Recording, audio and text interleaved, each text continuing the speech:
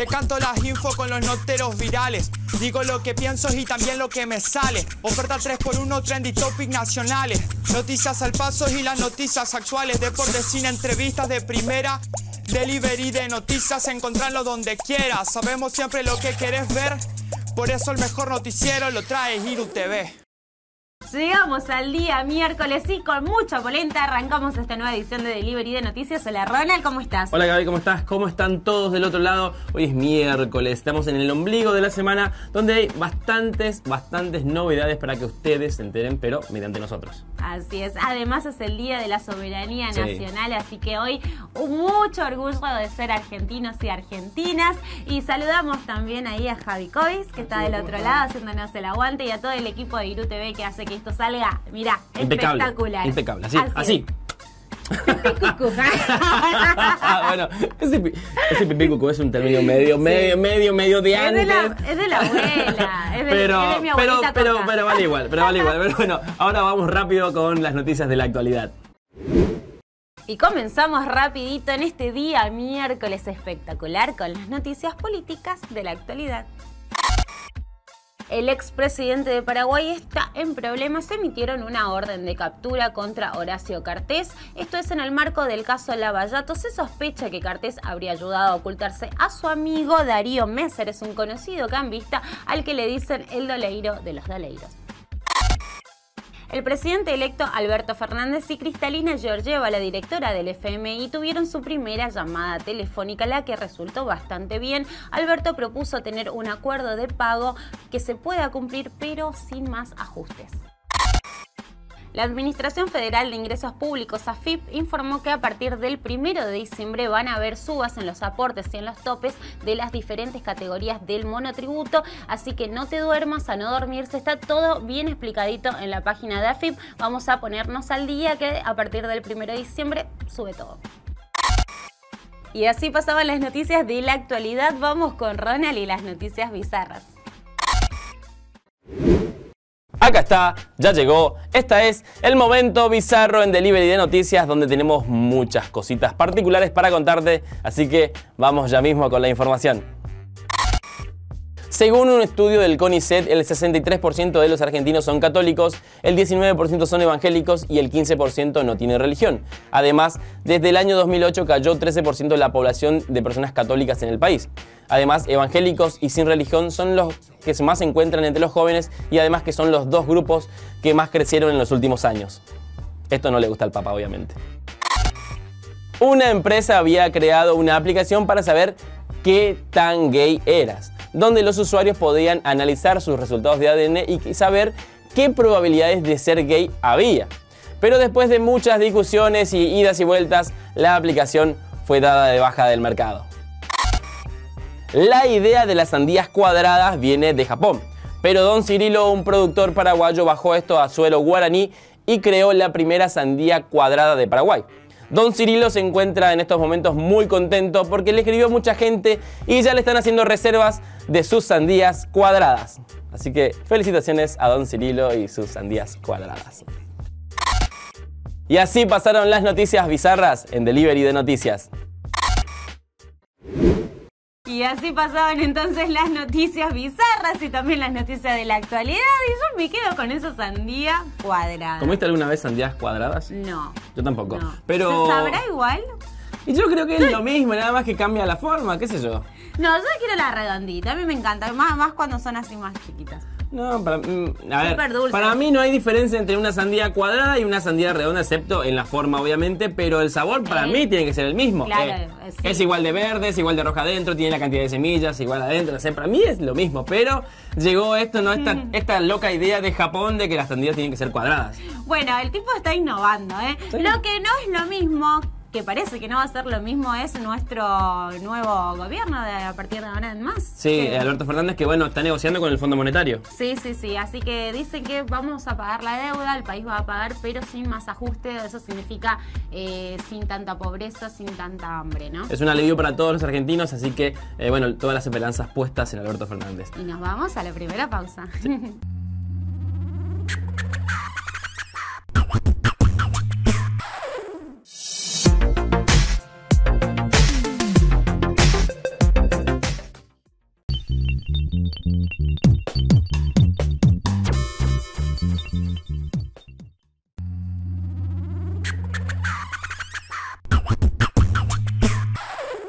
Segundo bloque de Delivery de Noticias y llegó el momento de los amigues de Irú. ¿Quién nos visitó? Ay, sí? Ronald. Bueno, tuvimos el honor de que nos visite Pipo Andriani, un reconocido estilista, peluquero acá de Yo me la corto en su peluquería. ¿Ah, sí? Ay, yo quiero ir. Yo voy a ir ahora más a ver si este, este pelo tiene arreglo. Este pelo, este Mi pelo tiene arreglo. Yo creo que ahí todo lo pueden arreglar y mejorar, ¿eh? Sí, obviamente. Bueno, él nos estuvo contando sobre su trayectoria, sobre su vida, su día a día, así que bueno, vamos a saber un poquito más de él, pero también Ronald trajo algo para vos. Sí, tenemos tendencias, así que vamos rapidísimo con todo esto. Hoy en Los Amigues de Irú tenemos el placer de tener acá en nuestro estudio a Pipo Andriani. ¿Cómo estás? ¿Cómo te va? Pero un placer de Gustavo. Daniel Andriani. Sí, pero así- te dicen así, Pipo. así. Y te dice, y la gente te dice Pipo por, por, la, por la calle, por, no sé, tenés que hacer un trámite, Pipo, algún trabajo muy loco que hayas hecho. llegué un día a las cuatro y media de la madrugada. Eh, estábamos por filmar una, la primera película en alta definición para la Argentina, que fue para la Playboy. Playboy tiene eh, revistas, tiene la parte de imagen y tiene la parte de películas eróticas. Yo trabajaba ahí con otros, con otros amigos formoseños y de los cuales me dicen, ¿trajiste tu equipo de trabajo? sí, le digo, ahí tengo mi maletín, le digo, ¿viste? Claro. No, no, gente, me dice. No, le digo, la verdad que a mí me contrataron para que yo venga a peinar. Sí, pero son 60 mujeres las que tenés que peinar. No, ¿cómo con 60 mujeres? Comenzábamos, la grabación comenzaba a las 9 de la mañana. Pero yo dije, ¿es ahora o nunca? Y peiné a las 60 chicas en, desde las 5 de la mañana hasta las 9 y cuarto de la mañana, más o menos. Y fui, fui yo mi equipo. ¡Eh! Bien. Yo y mi equipo, que era Sí. mi maletín. Yo le dije, sí, traje mi equipo, traje mi Y secador, mi planchita. y ahí estuvo tu Sí, firma. sí, totalmente. ¿Cumpliste tu sueño de, de peinar, de maquillar a alguien que admirabas un montón? Sí, sí, sí, sí. Tuve la posibilidad de maquillar a, a celebridades eh, argentinas como eh, Celina Rucci, quien me dio una mano enorme, es una mujer excepcional, tremenda, amable. Después eh, trabajé con una, con una chica que salió del Soñando por Bailar, Eugenia Lemos, que también una chica que trabajamos, que yo la conocía ella en Plusbel. ¿Te pidieron un tinte así potente que vos decías, no hermana, no te queda lindo ese color? Y, y no te hizo caso y vos dijiste, bueno, yo te lo hago, pero no digas que yo te hice. No, en ese aspecto no, porque salen de la peluquería y me lo hicieron en lo de Pipo. Claro. ¿Los muchachos están más exigentes ahora, Pipo? Totalmente, y el formoseño está muy de moda con el tema de la barbería y, y en general la barbería, digamos, como barba y como corte de cabello. ¿Cómo manejás la humildad sabiendo que, que sos tan requerido, tan pedido y que tenés como... Sí, sos tan grande acá dentro de, de Formosa. Eh, cada mago con su varita mágica. Cada uno defiende su trabajo como puede y la humildad yo creo que uno la mama desde el hogar, desde lo que mamá y papá enseñan para el día de mañana. Y Bueno, así. y así pasaba Pipo Andriani llenándonos de luz, contándonos un poco más de vos. Y muchísimas gracias No, a por ser parte de Iru TV. Un placer enorme, ¿eh? Muchísimas gracias. Y así pasaba Pipo Andriani. Hoy es miércoles y no pueden faltar las tendencias en la República Argentina, así que vamos rápidamente con los trending topics. Hashtag Astro. Astro, la banda coreana de K-pop, sacó un nuevo disco y la está rompiendo en Twitter. Arroba Astro dijo, estoy segura de que Astro la va a romper con este comeback, van a lograr grandes cosas porque se lo merecen, son unos dioses, además de que Blue Flame es una total obra de arte, ya los estoy visualizando con más de un win. Stream Blue Flame. Hashtag Astro. Hashtag Día de la Soberanía Nacional. Hoy se celebra el Día de la Soberanía Nacional y conmemoramos la lucha heroica de nuestros soldados que impidieron la colonización de todo nuestro territorio. Arroba San Ernesto 3 dijo, hoy se conmemora el Día de la Soberanía Nacional. Se conmemora la batalla de la Vuelta de Obligado que se libró en 1845 cuando la Confederación Argentina enfrentó a la flota anglo-francesa que intentó incursionar por el litoral. Hoy no atacan en barco. Hashtag Día de la Soberanía Nacional. Hashtag Gastón Pauls. El actor Gastón Pauls sale con una piba que es 29 años menor que él y en Twitter hubo fuego cruzado entre los que opinan que esto está bien y los que opinan lo contrario. Arroba el mono de sofista dijo, lo que más me sorprende de la novia de Gastón Pauls es que ella no tiene la edad como para haberlo visto haciendo algo digno y que sea su ídolo. Hashtag Gastón Pauls. Y así pasaron las tendencias en Delivery de Noticias. Y bueno, en Twitter se armó un hermoso quilombo con gente que está a favor y en contra de que Gastón Pauls esté de, de novio con una piba que tiene 29 años menos que él.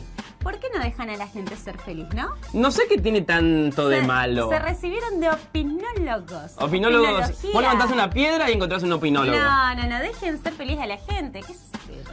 Además, yo creo que está bien dentro. A ver, si, si la piba le gusta y si Pero ¿cuántos años? Ella es mayor de edad. Sí, tiene, di- creo que tiene 18 o 19 años más o menos. Y Gastón Paul tiene, ¿Es mayor de edad? tiene 49. ¿O no es mayor de edad? Sí, yo creo que sí. Es Bueno, mayor de- si no es mayor de edad, estamos Sí. en problema. No, no, no, pero yo creo que. eh, a ver, en- además en Twitter eh, está la libertad de opinar lo que se le cante a cualquiera, así que se puede leer de todo un poco también ahí. Sí, pero también veo eh, cuando una mujer sale con un hombre 20 años menor que ella, es como aún más el revuelo. Es Sí, como sí. que los hombres está esto generalizado, está todo bien, pero si una mina sale con un hombre 20 años menor, no. Sí, claro. Así que déjenlos en paz. Sí, que sean felices y que viva el amor. Hacemos la segunda pausa y ya volvemos.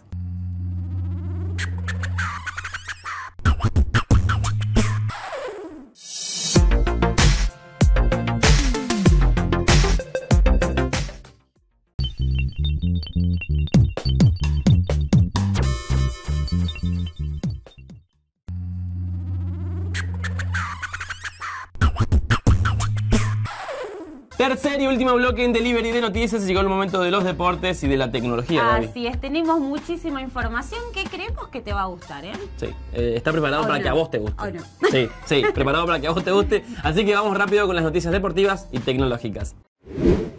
Y arrancamos con las noticias del deporte. Vamos a ver qué anda pasando. Y el 10 ya no es DT de gimnasia, todo estalló porque este fin de semana hay elecciones ahí en el club y Gabriel Pellegrino decidió no renovar, no presentarse. Y bueno, Diego Armando Maradona había dicho, sí, el presidente sigue, yo sigo, pero como no fue así, eh, se fue el Diego de gimnasia. Los jugadores le pidieron al Diego que se quede, le hicieron llorar, pero bueno, no hay quien le- lo haga cambiar de opinión. Y el Peque Schwarman le dio la victoria a nuestro país, le dio el segundo punto que necesitaba la Argentina en la Copa Davis, derrotó por un doble 6-2 a Garín, así que bueno, muy bien para el Peque. Y este fin de semana el Paseo Costanero se vistió de fiesta porque se realizó la Copa Panamericana de Triatlón acá en nuestra Formosa.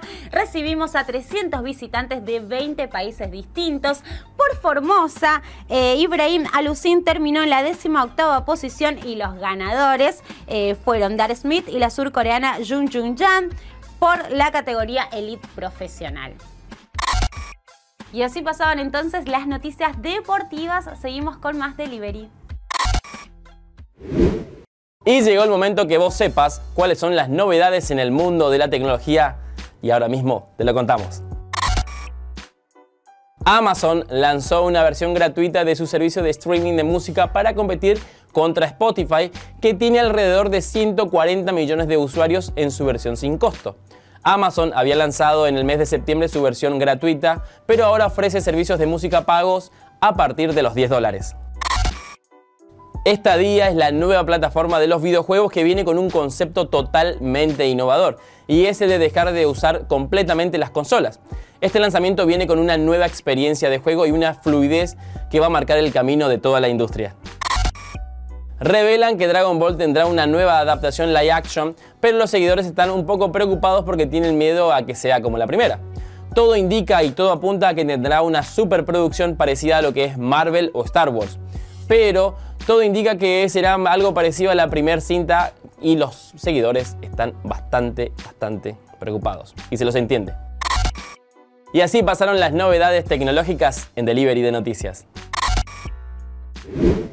Y bueno, eh, Maradona ya se fue de gimnasia. Qué triste esa noticia para el club, para lo que significa Maradona, ¿no? Para todo, porque ahora capaz que se va a la vez. Sí, además se, se, había generado algo muy importante, algo que. una revolución prácticamente en La Plata con la llegada de Maradona a gimnasia. Y bueno, no poder seguir en esta ilusión que duró solamente tres meses es un bajón para todos los hinchas y para todos los que queremos que Maradona esté, obviamente, en la Argentina. Así que nada, triste para todos los que somos amantes del fútbol. Ya nos estábamos imaginando acá en la Copa Argentina. Claro, llegando a Formosa.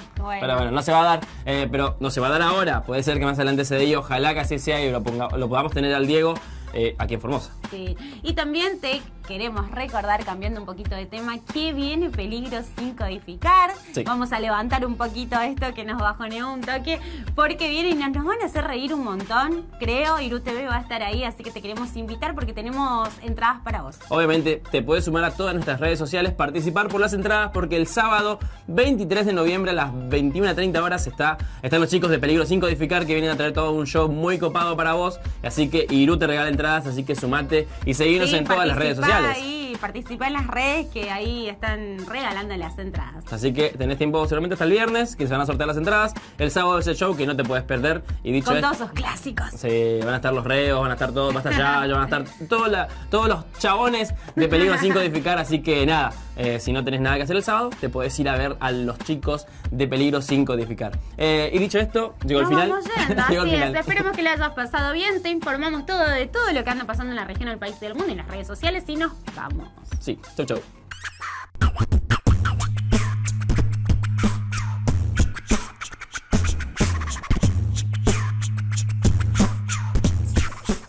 Este proyecto ha sido ganador del Fondo de Fomento Concursable para Medios de Comunicación Audiovisual, un mecanismo de fortalecimiento de la pluralidad de voces y subsidiado por el Ente Nacional de Comunicaciones, bajo la licencia del Creative Commons Atribución Compartir Igualdad 2.5 Argentina.